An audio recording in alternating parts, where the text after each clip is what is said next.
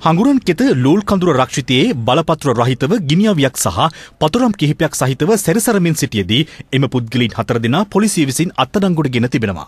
සැකරුවන්ගෙන් කරනු ලද ප්‍රශ්න කිරීම්වලදී ඔවුන් පවසා ඇත්තේ සතුන් දඩයම් කිරීම සඳහා පැමිණි බවයි. මහනුවර ජේෂ්ඨ පොලිස් අධිකාරී කාර්යාලයට ලැබුණු තොරතුරකට අනුව මෙම අත්අඩංගුවට ගැනීම සිදු කර ඇති අතර එම පිරිස සහ ගිනිඅවිය අද මහනුවර අධිකරණයට ඉදිරිපත් කිරීමට නියමිතයි.